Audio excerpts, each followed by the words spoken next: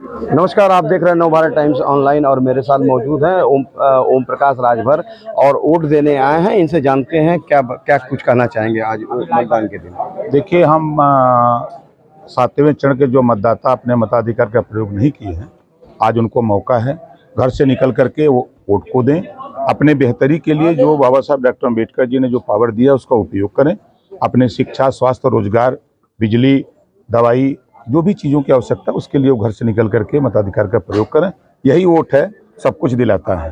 अंतिम चरण है और पूर्वांचल खासकर आपके वो है कि बड़े पूर्वांचल में आपका दबदबा है इसी वजह से एनडीए में आप शामिल भी हुए। तो इसमें क्या कहेंगे एनडीए को लेकर? कहीं कोई लड़ाई नहीं है।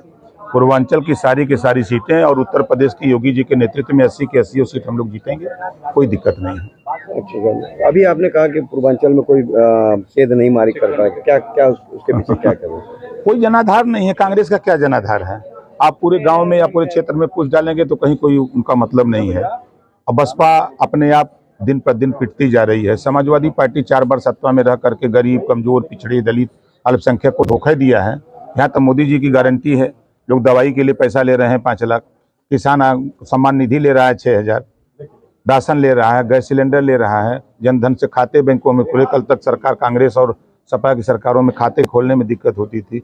यहाँ तो सब कुछ मिल रहा है। तो जनता मोदी जी के नाम पर वोट दे रही है। कोई नेता के चक्कर में नहीं है। लड़ कौन रहा उनसे नहीं पता है। तो क्या इस बार वोट में सेधमारी हो रही है? कहीं कुछ नहीं है कहीं कुछ नहीं है एक पैसे का नहीं है। बल्कि उधर से वोट में हम लोग सिद्धमारी कर लिए हैं।